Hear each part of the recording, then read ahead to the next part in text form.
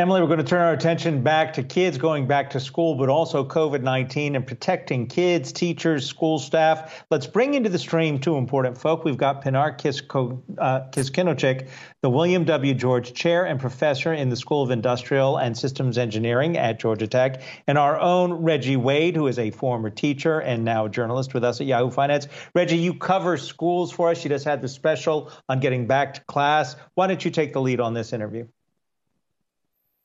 Thank you very much, Adam. Professor, welcome to Yahoo Finance. You've come out with several of your colleagues with a study that shows an additional 70% of elementary school students may be infected with COVID 19 within three months if their schools don't have adequate masking policies. I have to ask you do you believe that it was safer to start schools virtually than co- doing it while coinciding with the rise in the Delta variant? So thank you, Reggie, for having me here. Um, maybe it would be good for us to um, start a little bit uh, with some of the facts that we know right now and what motivated our study. Um, so almost 160,000 new COVID cases have been reported on August 19. So COVID is not over as much as we would like it to be. Um, Delta variant is very contagious. Um, unfortunately, younger people are getting infected at a higher rate than what we have observed before. And they're also getting sicker compared to what we have observed during the earlier months uh, of the pandemic. Um, COVID related hospitalizations are on the rise for all age groups and unfortunately going up at a high rate for the 0 to 17 age group for kids. Uh, so we have about half of the US population uh, vaccinated, uh, maybe close to 60%, at least one dose but younger children are not eligible for the vaccine yet. Um, and even if you look at the 12 to 17 age group, the vaccination rates are still relatively low. So in Georgia, my home state, we have about 20% of the 11 to 13 year old children uh, who are vaccinated. These are middle schoolers, uh, but this is definitely not enough to give us the kind of protection that we would need. Um, so these are some of the facts that motivated our study. And you asked the question uh, whether we should have been safer to open virtual. I would say it depends. Um, with the right interventions, right precautions, we might be able to open the school safely and give that in-person experience to our children, but we have to do it right. Professor, we see what's going on in Texas and in Florida, school boards having disputes with their governors over vaccine and mask mandates. Have you advised any of these school boards? And if not, what advice would you give them going forward to this year? Yeah, I think it's really important for any decision maker to uh, base their decisions on data, information, and advice uh, coming from the experts. Uh, so none of us would attempt a brain surgery unless we were trained as a brain surgeon.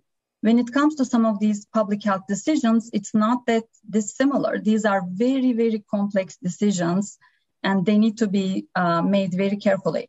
Now, CDC recommends that schools implement layered prevention strategies, including universal masking for staff, teachers, visitors, and of course all the student, students ages two years and older, regardless of their vaccination status. So I think this recommendation is very clear.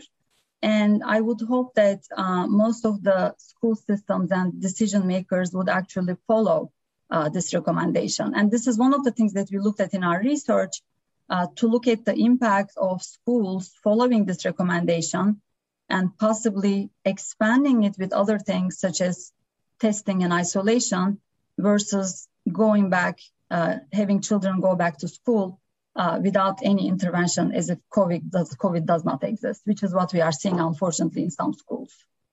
Are you hearing any kind of indication when children under the age of 12 may begin to be eligible for this vaccine? And how young will that go? Will it go down to two year olds? So we we are uh, many of us are of course eagerly awaiting for news about the uh, vaccine to be uh, approved for younger children, and of course that age group uh, is is more complicated because there is a big variance in terms of their body weight and immune system and other things.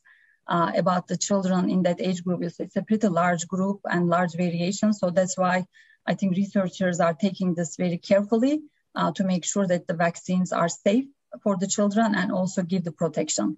Uh, so uh, hopefully uh, in the coming months, uh, the, the vaccine will be approved for younger age groups. But in the meantime, it's very important for us to uh, apply these layered interventions. So for example, what we found in our research that more than 70% of susceptible student population uh, might be infected by the end of semester if we do not put in place some serious interventions. Um, so masking, of course, is key, uh, as well as regular testing of students would help um, with isolation, of course. But even with testing, if we do not have masking in place, we could still have more than 50% of the susceptible students infected by the end of the semester. So this is very serious, and I think that's why we really need these multi-layer interventions uh, in the schools to protect our children.